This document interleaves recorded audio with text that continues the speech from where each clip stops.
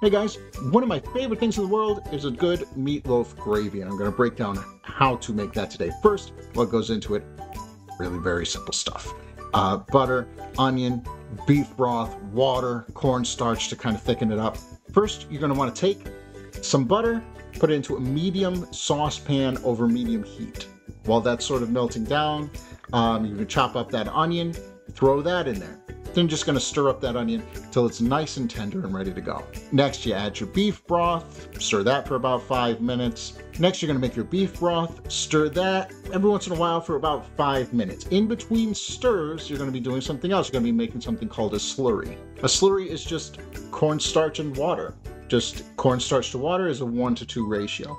You whisk that until you get a really smooth consistency. Once that slurry's done, that's what's to thicken up your gravy. So stir that into the gravy um, until you get the consistency that you're looking for. If it doesn't get as thick as you'd like, you can always add more slurry. So, so make sure to add it slowly. And that's it.